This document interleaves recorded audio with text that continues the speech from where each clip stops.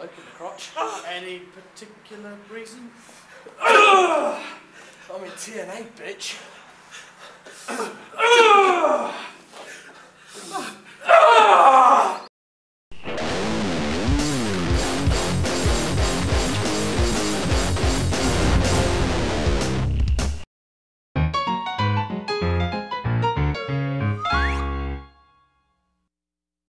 Much like the American wrestling industry, for many years there was only one big player in the wrestling video game category.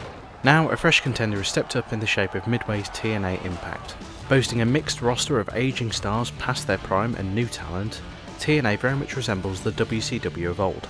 The game itself harkens back to the year 2000 and earlier, in which modes were limited, create a wrestler was a simple but exciting prospect, and there was very little to recommend to people who habitually complain about wrestling being fake.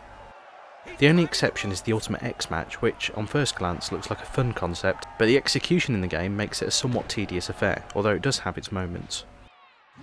Controls are simple enough, but may take some adapting to if you're used to the SmackDown games. I applaud Midway for including a proper story mode, but it lacks, for want of a better term, impact.